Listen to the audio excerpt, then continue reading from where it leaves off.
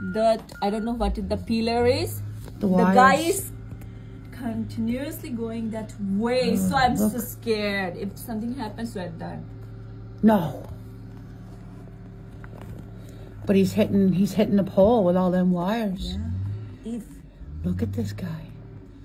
oh my god, This is like over 30 minutes of this one snowplow being stuck. yeah. Another snowplow came to help No, and he put a 12 foot bank at the bottom of my step. Holy.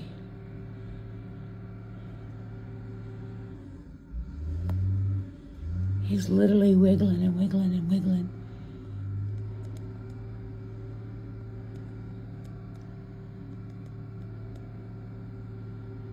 At them.